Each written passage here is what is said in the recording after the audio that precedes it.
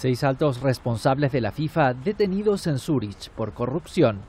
Así lo ha confirmado el Ministerio de Justicia y Policía de Suiza, que prevé su extradición a Estados Unidos, donde una fiscalía de Nueva York les investiga por haber aceptado sobornos y comisiones desde principios de los 90 hasta la actualidad.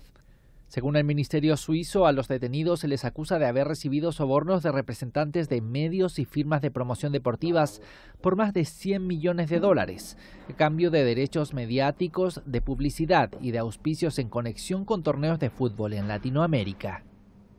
Las autoridades helvéticas indicaron que se aplicará un procedimiento simplificado para los detenidos que estén de acuerdo con su extradición, si se oponen, Estados Unidos deberá presentar en un plazo de 40 días una petición formal. Los detenidos se encontraban en un hotel de Zurich para participar en el Congreso de la FIFA,